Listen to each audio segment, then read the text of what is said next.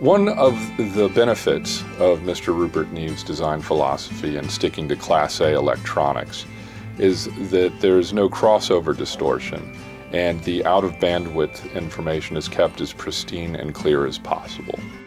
The sound is more coherent, more natural, and pleasing to the listener.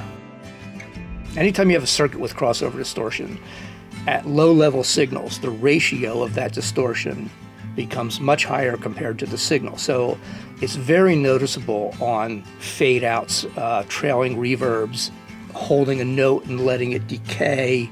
You'll hear it as the signal gets smaller, that the distortion ratio increases dramatically. And that's where Class A really shines. Low level signals have the same clarity as high level signals, and the distortion ratio doesn't change over the range of the signal level. So it's very important in designs to have that continuous distortion characteristic throughout the signal level range.